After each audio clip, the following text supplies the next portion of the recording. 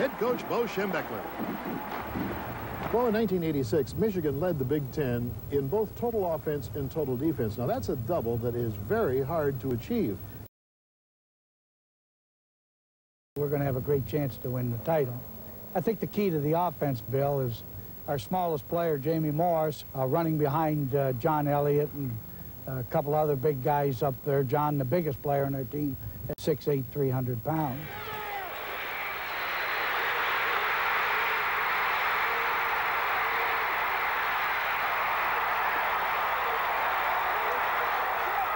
I'm going to the Rose Bowl.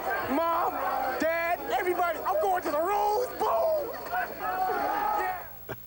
Well, Bo, how are you going to replace the Big Ten Player of the Year last year, quarterback Jim Harbaugh? Well, we've been grooming two young fellows for that job. Um, Michael Taylor is the uh, a wonderful who's developing as a passer, and Demetrius Brown has uh, one of the finest arms we've had here at uh, Michigan.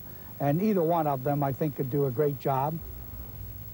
We have three all-conference players returning this year. I mentioned Morris and Elliott to you. The third is Mark Messner, who for the second year last year was number 60, was an all-conference defensive tackle. You'll see that number all over the field. Uh, great pursuit player, makes a lot of tackles at his defense. Bo, for the last four years, four different teams from the Big Ten have either won or shared the title and gone to the Rose Bowl.